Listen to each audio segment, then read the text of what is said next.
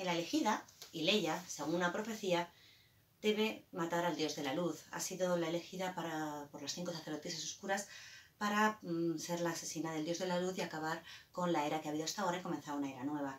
¿Qué ocurre? Que a medida que avanza esta novela, que en principio tendría las reglas de la novela clásica del camino del héroe, preguntarse si es o no es la elegida, si estará preparada o no, eh, surge una duda, un conflicto, algo que yo creo que es relativamente nuevo en la, en la narrativa sobre, sobre mm, historias de este tipo, que es el plantearnos o cuestionarnos si quiere hacerlo, si el camino que, para el que lo han elegido es el camino correcto, si está en el bando de los buenos, por decirlo de alguna forma. Eh, con frecuencia vemos historias, eh, Superman, eh, Spider-Man, Matrix, en las que el héroe, el, héroe, el protagonista, debe enfrentarse a seré capaz de luchar contra esto. Pero aquí, insisto, meto como, como nuevo y al que se invita a reflexionar la idea de ¿quiero hacerlo? ¿Quiénes son los buenos?